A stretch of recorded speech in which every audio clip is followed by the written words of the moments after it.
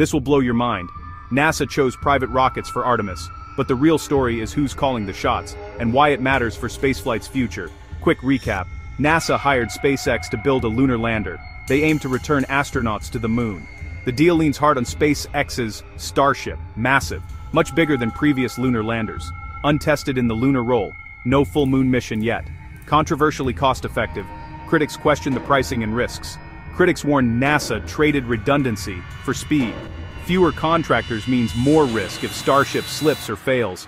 Supporters argue this is smart. One bold system can cut costs and accelerate exploration.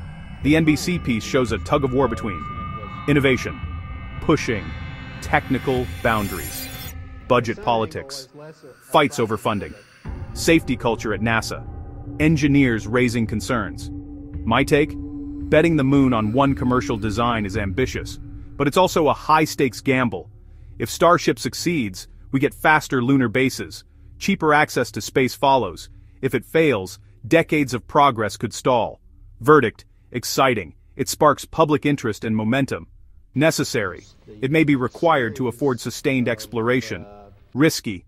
The kind of gamble that built modern spaceflight. Thank you for watching. Make sure to always like, share and subscribe for more daily Peak Trends content.